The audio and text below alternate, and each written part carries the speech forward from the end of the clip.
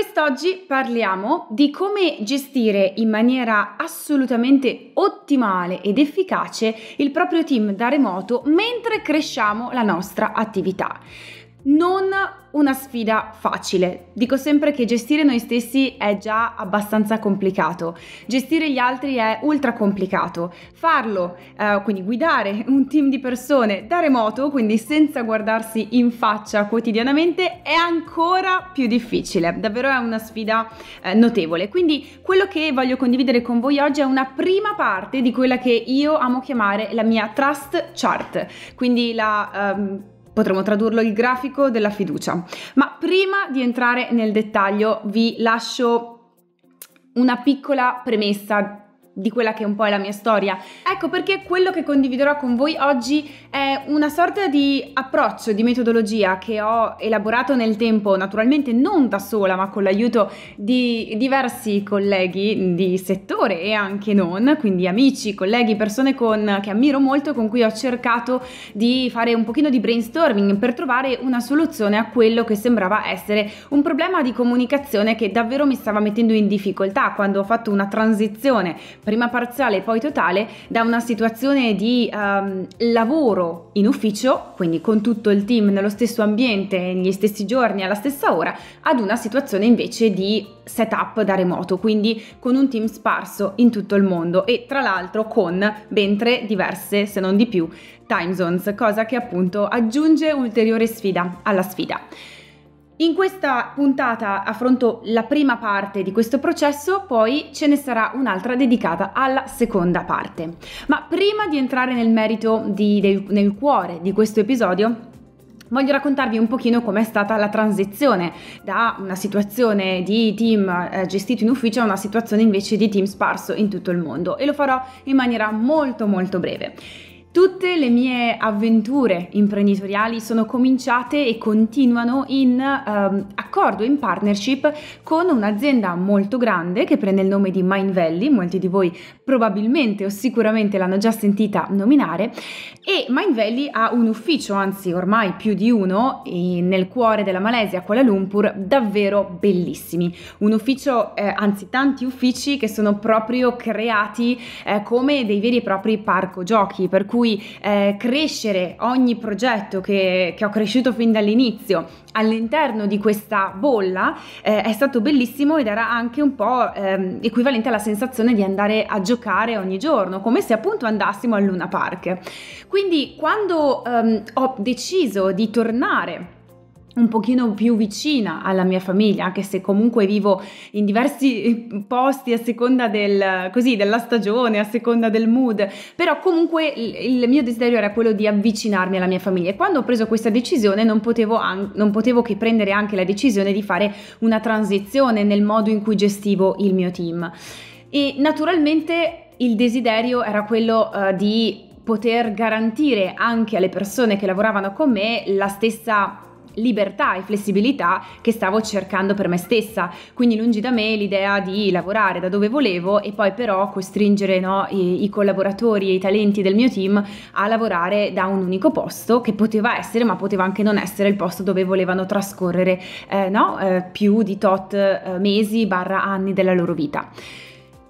E devo dire che i naysayers, quindi tutti, tutte le persone che in qualche modo mm, mi hanno preso per matta quando ho deciso di fare questa, questa transizione, non sono state poche. Più che altro sottolineavano fin dall'inizio che avrei incontrato notevoli difficoltà, che avrei potuto dire addio ad una crescita costante della nostra attività e avrei potuto dire addio anche ad una cultura aziendale che eh, naturalmente a Mind è fortissima e nasce soprattutto grazie alla presenza in house, quindi alla presenza delle persone in ufficio e avrei potuto davvero dire addio a questa cosa devo ammettere che l'entusiasmo di poter davvero gestire tutti i miei progetti da dove volevo, creandomi anche non solo soddisfando i miei desideri, i miei sogni di, di individuo, quindi sentendomi anche libera di poter tornare alle mie radici, quindi all'Europa in questo caso,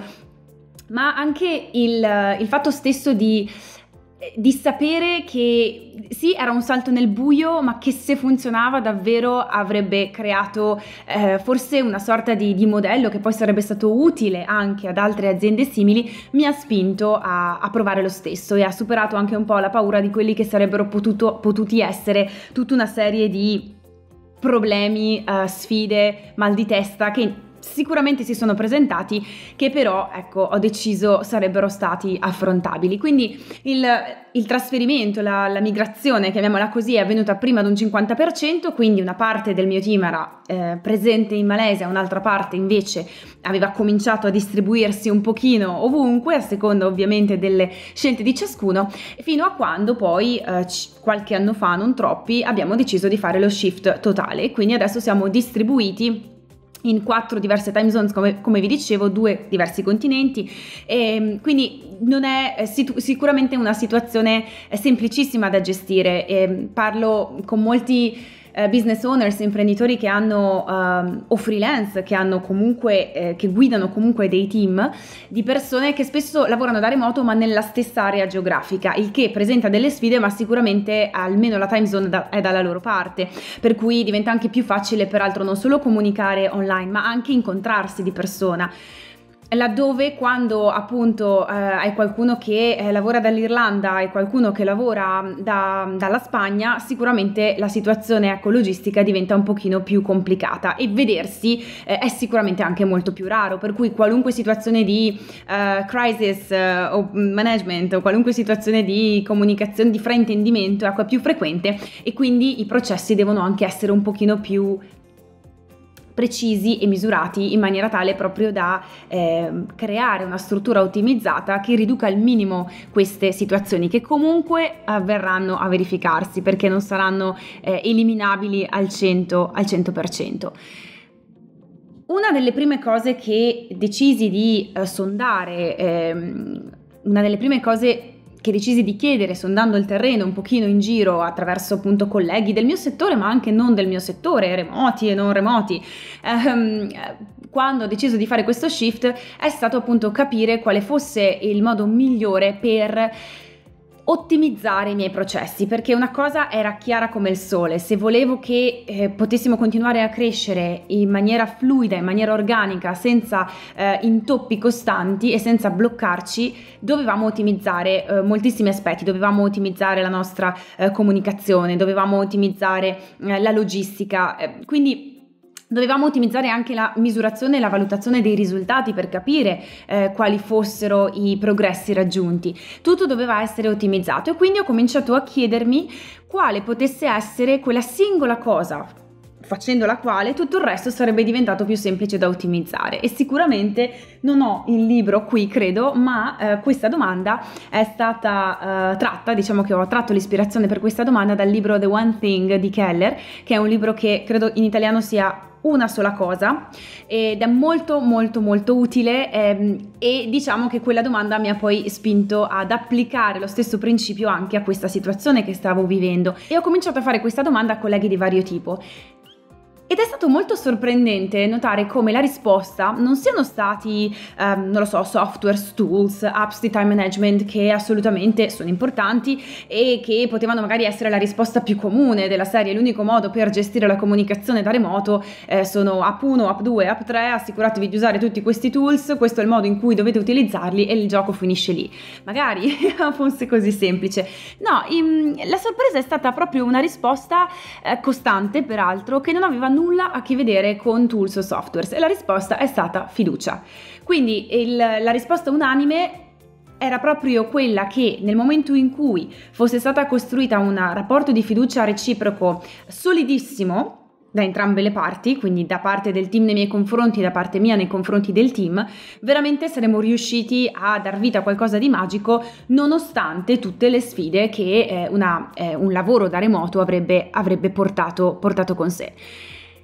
Naturalmente la risposta mi piacque molto, era molto affascinante, allo stesso tempo uh, frustrante perché la fiducia non è qualcosa che puoi replicare, non è qualcosa che puoi quantificare su Google Analytics, non è qualcosa che, di cui puoi ricercare i volumi di ricerca mensile su Google Keyword Planner e quindi doveva essere per forza qualcosa che dovevo rendere replicabile, qualcosa che potevo rendere anche duplicabile e misurabile. Eh, non facile, visto che la fiducia è un qualcosa di assolutamente intangibile.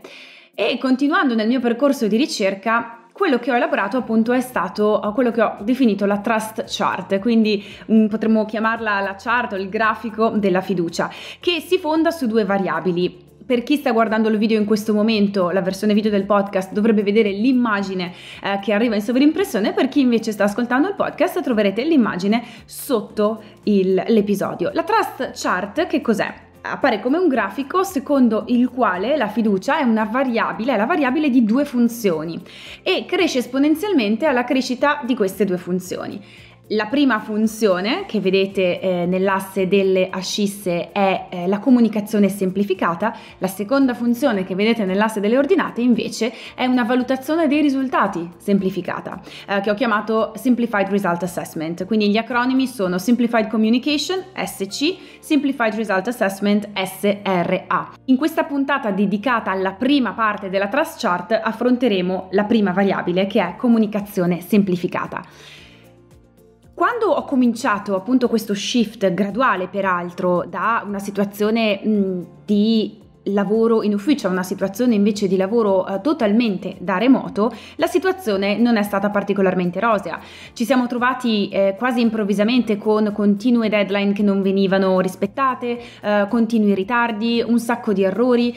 Onestamente avevo sì realizzato il mio sogno di poter lavorare da dove volevo, non ero legata più ad un ufficio, non ero legata ad una specifica area geografica, ma allo stesso tempo mi trovavo veramente eh, in quello che si può definire una modalità modalità di continuo troubleshooting, no? per cui ero continuamente a risolvere crisi e questioni piccole, medie e grandi, sempre incollata allo schermo, per cui sì, eh, vivevo e viaggiavo dove volevo, ma di fatto potevo essere ovunque perché l'unico posto dove sicuramente ero da, dalla mattina alla sera, peggio di un 9 to 5, era il mio schermo, il mio computer. Non era sicuramente quella la vita che avevo, eh, diciamo così, immaginato nel momento in cui avrei fatto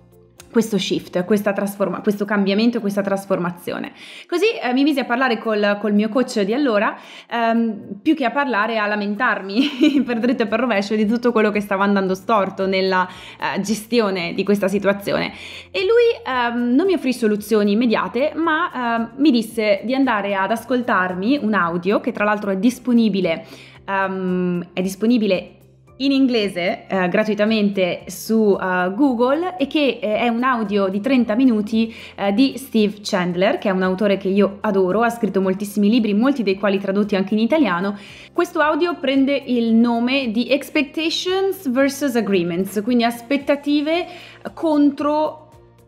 accordi, le aspettative contro gli accordi, se proprio vogliamo tradurre in maniera letterale. E queste due parole, aspettative e accordi, sono stati, sono il cuore appunto di questo audio e sono stati poi la, la chiave che ha cambiato tutto, eh, nella, tutto praticamente nella gestione della mia attività e del mio team. Adesso uso delle proprio eh, quoto eh, Chandler perché eh, credo che queste tre, ehm, questo paragrafo, praticamente queste tre righe riassumano nella maniera più concisa e più completa quello che lui descrive in questo audio. Gli esseri umani tengono moltissimo a mantenere un accordo, a rispettare un accordo che hanno co-creato con te. Quindi, se tu ti siedi e chiedi a qualcuno per che cosa posso contare su di te? E poi dai loro la possibilità di chiederti l'aiuto di cui hanno bisogno da parte tua per essere in grado di mantenere la promessa, cose incredibili accadono. Ecco, questo è un riassunto speciale che credo spieghi già il concetto. Quando la tua comunicazione si basa su degli accordi che vengono stabiliti da entrambe le parti, possibilmente lo vedremo tra poco in formato scritto, non solo verbale, veramente costruisci un nuovo senso di, di, fiducia e tra l'altro diventa anche più facile capire realmente perché una deadline non sta venendo uh, rispettata e tra l'altro gli accordi consentono anche di capirlo in anticipo se una deadline non potrà essere rispettata. Perché? Perché la deadline viene co-creata insieme.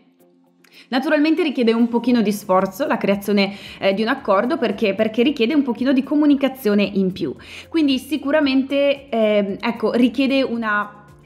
un mettersi a disposizione del proprio team maggiore che non semplicemente dire ok queste sono le cose da fare devono essere fatte entro il tal giorno e la tal ora però veramente può trasformare ogni cosa naturalmente migliorando anche la relazione sia con il team a livello collettivo sia con i singoli che con i singoli membri del team Facciamo un esempio pratico per capire come funziona, che forse è la cosa migliore. Ovviamente è un esempio ipotetico, ma che stato che, che ho elaborato sulla base di situazioni poi accadute realmente. Immaginiamo che sia mercoledì e capita che arriva una, eh, un progetto importante da parte di un cliente, una modifica, qualcosa che, cli- che un grosso cliente che ehm, avete richiede eh, venga fatta entro venerdì. Tutto il team ha già eh, la propria agenda piena, le deadline per venerdì sono già state settate da diverso tempo, ma questa cosa mh, mm, è improrogabile, non può non essere fatta. E quindi tu quello che fai nel primo scenario, lo scenario delle aspettative, sarà quello di, non lo so, ipotizziamo che eh, il tuo collaboratore sia John, manderai un messaggio su Slack, se Slack è lo strumento che utilizzi, e dirai qualcosa come Ehi John, c'è questa novità da parte di questo cliente, deve essere fatta entro venerdì, massimo massimo a mezzanotte perché il cliente deve ricevere tutto entro sabato mattina, quindi mm, mi raccomando eh, non deludermi perché non possiamo perdere questo cliente. Dopodiché torni a fare le tue cose. Questo è il primo scenario. Questo è uno scenario in cui cominciano a crearsi delle eh, situazioni, diciamo così, di aspettativa non detta, non, non, comunicata, non verbalizzata. Per quale motivo? Perché la tua aspettativa è quella che John faccia il suo lavoro e finisca tutto entro la data e l'ora che hai indicato. L'aspettativa di John eh, è quella che tu ti renda conto possibilmente che la sua agenda è già piena e per questo John può avere due reazioni diverse, no? Perché l'aspettativa probabilmente è, rimane delusa nel momento in cui tu mh, mm, lasci, no? eh, lanci la bomba, lasci il messaggio, dopodiché torni a fare le tue cose. John può reagire quindi in due modi. Il primo modo in cui può reagire è quello di dire di non dire nulla e quindi non vuole deluderti, vuole fare assolutamente, eh, vuole che, che, tu sia orgogliosa, eh, orgoglioso di lui e quindi che cosa fa? Cancella la cena con sua moglie Claire dinner prevista per il venerdì sera, la sua cena romantica magari già inserita in calendario da giorni e eh, decide di fare eh, quello che deve fare perché questo cliente sia soddisfatto. Eh, il cliente viene soddisfatto, il lunedì ehm, ti complimenti con John perché ha fatto un ottimo lavoro e la cosa si conclude lì. Non saprai mai tutto il risentimento che John sta costruendo piano piano, soprattutto se queste dinamiche si ripetono, ehm, sulla base proprio dell'aspettativa secondo la quale John ha sempre tempo tempo per fare cose anche che emergano all'ultimo momento, anche particolarmente impegnative.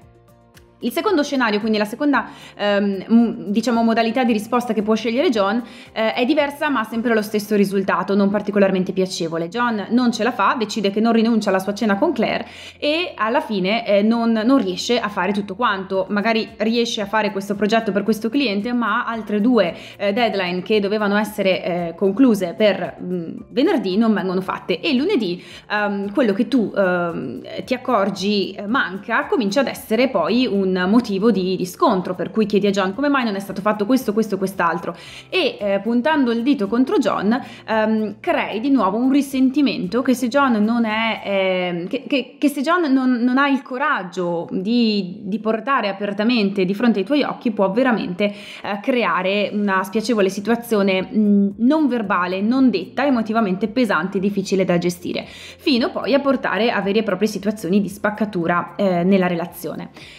Vediamo allora qual è lo scenario degli accordi. Lo scenario degli accordi eh, o di un accordo è uno scenario in cui tu mandi un messaggio il mercoledì a John e chiedi a John hey, um, c'è questa, questo cliente che ha bisogno di questa cosa entro venerdì, c'è qualcosa che posso aiutarti a fare per riuscire a rispettare questa deadline visto che è un cliente così grande e importante? E John potrebbe rispondere um, assolutamente fattibile, eh, sì c'è qualcosa che potresti fare, cioè dirmi se va bene se questo paio di deadline che avevo per venerdì possono essere spostate a martedì mattina in maniera che io abbia tutto il tempo da dedicare da qui a venerdì a questo nuovo progetto che è appena emerso, questa nuova modifica che è appena stata richiesta. A quel punto sarai tu a rispondere se la nuova deadline va bene oppure continuerete a co-creare un accordo in base a eh, quelle che sono le esigenze di entrambi. L'accordo, una volta co-creato, andrà idealmente messo per iscritto, questo perché in questo modo eh, l'accordo diventa anche tracciabile, altrimenti ci basiamo solo sulla memoria e non sempre, è, soprattutto quando abbiamo mille cose da fare, è la cosa migliore. Capite che nel momento in cui ogni comunicazione si basa su un accordo anziché su un'aspettativa non comunicata e non detta, diventa più facile sia evitare inutili risentimenti eh, che si basano appunto su una pura congettura, perché la mia congettura è quella che John abbia abbastanza tempo per fare tutto, la congettura di John è che eh, io non, non, sia in grado di mettermi nei suoi panni, e, oppure addirittura non voglia, la sua congettura potrebbe essere quella eh, di dire eh, il mio, il, mio, capo, il mio supervisor, il mio manager diretto eh, non ha idea di quello che faccio e mi mi carica soltanto di cose e questo appunto genera continuo risentimento. Ma c'è un'altra cosa molto bella che nel momento in cui comunichiamo sulla base di un accordo si viene a creare, cioè diventa più facile individuare Uh, chi è un fit per il nostro team e chi invece appunto non è un fit proprio a livello mh, culturale di atteggiamento nel nostro team. Per quale motivo? Perché quando una aspettativa non viene, non viene rispettata, non viene incontrata, è difficile capire di chi è stata la colpa. Um, sono stata io troppo ferma o sono stata io troppo, non lo so, mh, troppo buona oppure ehm, è successo qualcosa nella vita di John per cui non, non, è qual- non è riuscito a fare questo progetto oppure John John ha semplicemente pigro e non ha voglia di fare nulla. Sono solo pure congetture e supposizioni. Ma nel momento in cui un accordo è stato messo per iscritto, è stato co-creato dalle parti e non viene rispettato, può capitare una volta per una motivazione che ovviamente dovrà essere eh, specificata, può capitare due volte, ma quando comincia a ripetersi con costanza diventa un problema ehm, che eh, va appunto eh, risolto, risolto con una decisione da entrambe le parti di capire se effettivamente lavorare insieme è la cosa migliore. Quindi diciamo che in questo modo la fiducia non è più utilizzando quindi questo approccio semplificato alla comunicazione, la fiducia non è eh, più un uh, qualcosa di, resta comunque qualcosa di intangibile, qualcosa di estremamente complesso da uh, costruire, da sviluppare, ma diventa qualcosa che non è poi così um, impossibile da um, da replicare. Eh, quantificare è sicuramente eh, improbabile, ma se quantifichiamo la fiducia eh, in termini di ehm, fluidità nella comunicazione e eh, numero di fraintendimenti che naturalmente con questi accordi dovrebbero ridursi drasticamente,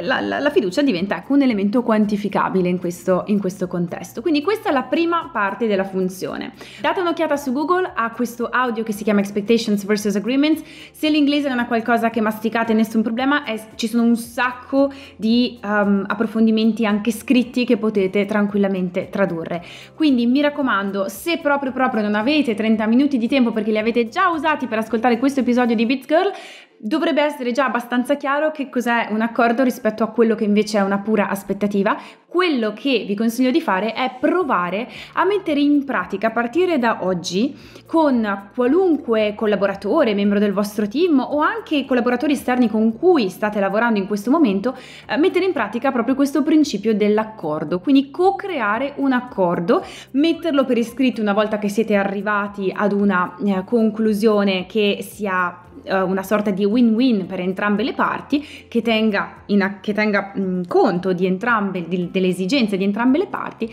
e a questo punto provate a notare che cosa cambia e come cambia la qualità della vostra comunicazione, oltre che la qualità dei risultati che vedrete arrivare. Questo è tutto per la puntata di oggi. Spero di averti dato qualche utile spunto che potrai implementare sin da subito. Se crescere un business in cui credi sul web in modo autentico e proficuo è parte dei tuoi piani e non sei ancora entrata a Biz Academy, iscriviti alla lista d'attesa per ricevere lo splendido bonus che ho preparato per te e per sapere quando riapriranno le porte della nuova Business Academy italiana tutta al femminile. Puoi farlo senza impegno visitando il sito biz-academy.it. Noi come sempre ci sentiamo o vediamo alla prossima puntata di Impact Girl.